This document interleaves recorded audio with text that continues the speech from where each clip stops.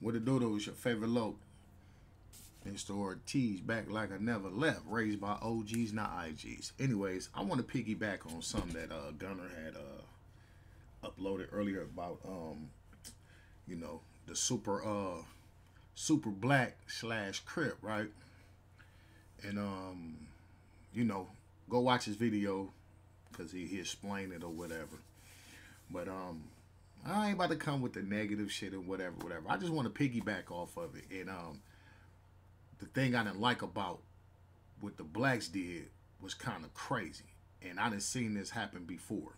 That's the reason why it's a lot of shit that that's why I don't talk about jail, homie, because I seen a lot of shit on the yard, homie, that would just like I wasn't feeling it, homie. I wasn't feeling I would just be like, bruh, I ain't got that long, bro. I'm ready to go home. These niggas can have this shit, you feel me?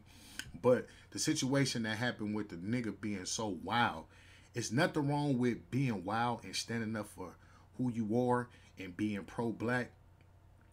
But also as a crip, my nigga, is rules and regulation. Cause when you signed up for this shit, homie, you gotta go by the rules. I remember when we had a meeting on the uh on the three yard at Centinela on the on, on the D yard on the on the level three.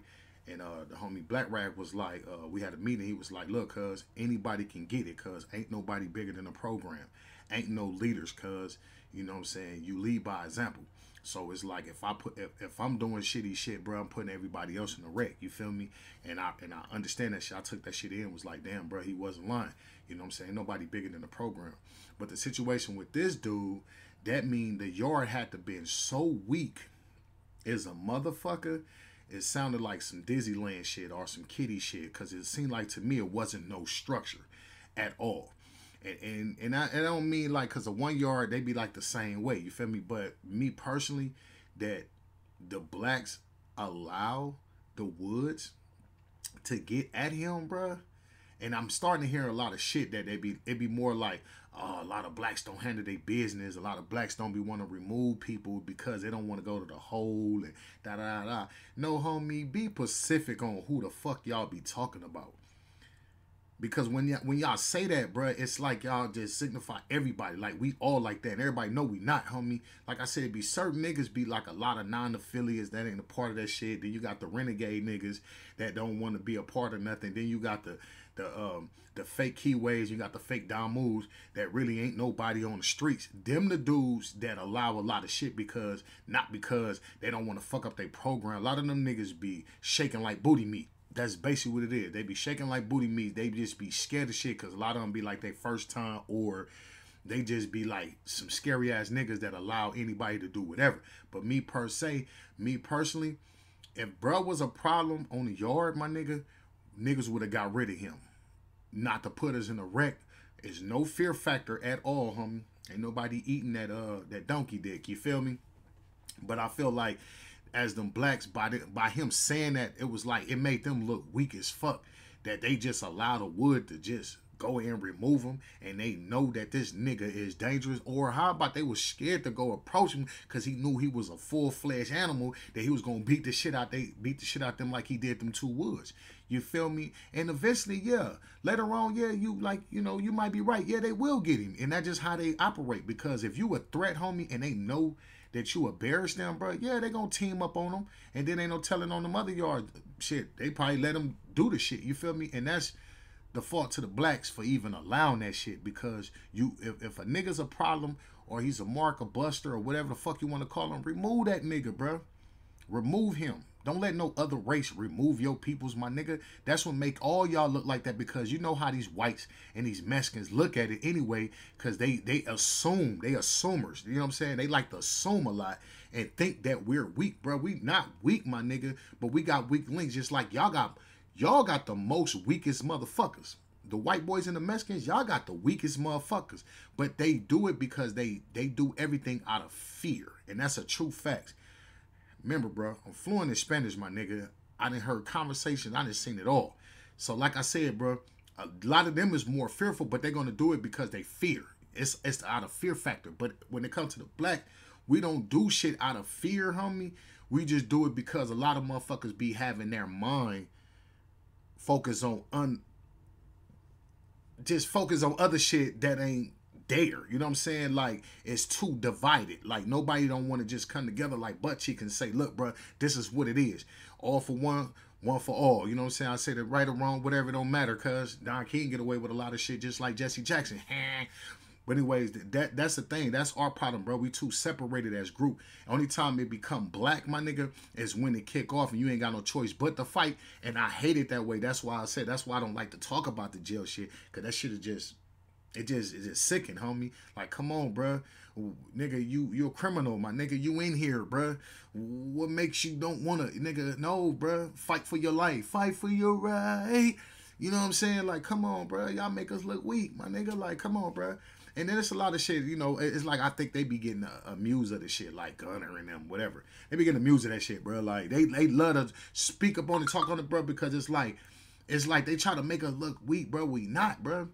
Far from it, my nigga. We just got weak links like everybody else got weak links and allow shit. The reason why y'all don't allow this shit because them niggas is like I said, they they they they they they in fear, my nigga. They fear for their lives. Y'all control these motherfuckers. They're controlled, my nigga. Our peoples is not controlled. That's why our alliance is so loose and our culture is so loose, bro, because ain't nobody trying to listen to nobody because everybody come from certain parts of the city and certain areas and certain tribes. And that's what it is. We're too tribal, my nigga, to the point where we so stuck in our tribe that we don't want to deal with other tribes to a certain extent, but we'll deal with other tribes when it's benefiting them as an individual, not as a group, but individuals. You know what I mean? Because it's a lot of turmoil in the set.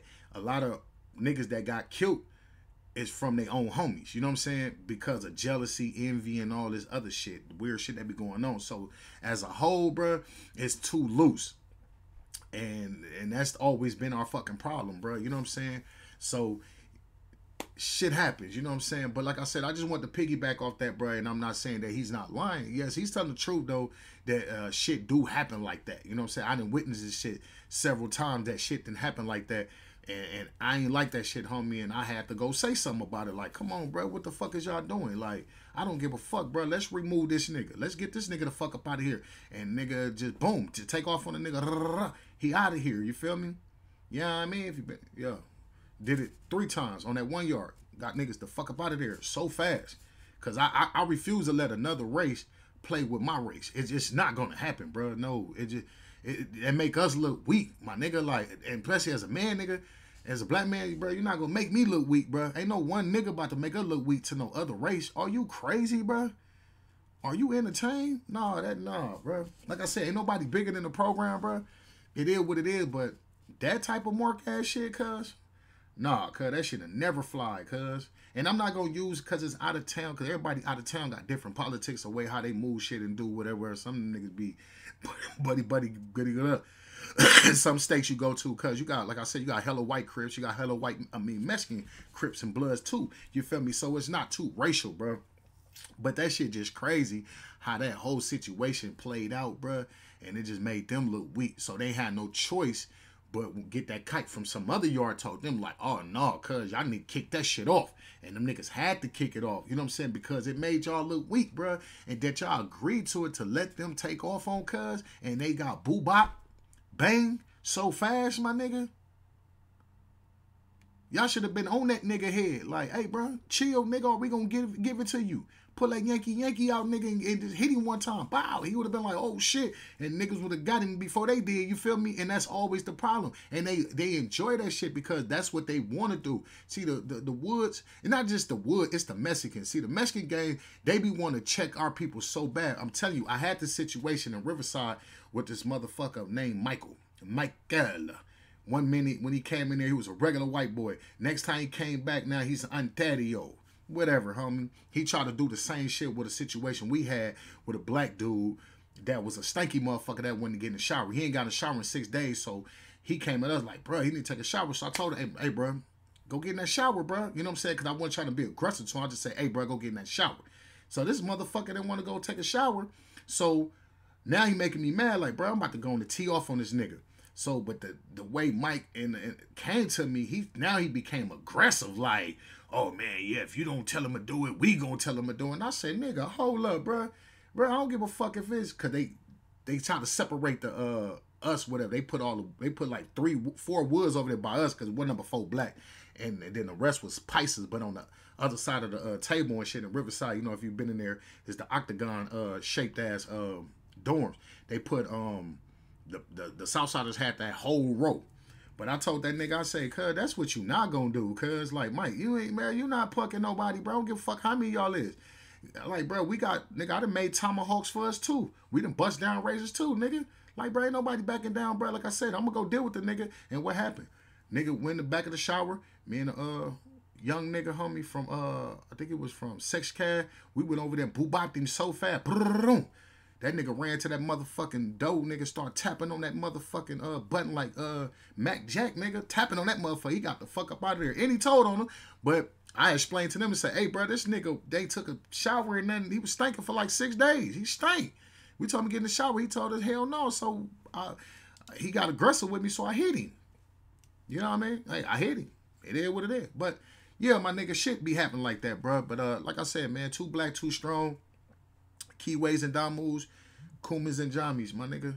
Stay strong on this on, on the on on on on, on, the uh, compound in the streets or whatever, bro, because everybody against us. Remember that shit, homie. Like I said, homie. Too black, too strong. Keyways, Damus, Jama, Kumis, and whatever else in between, cuz fuck the rest.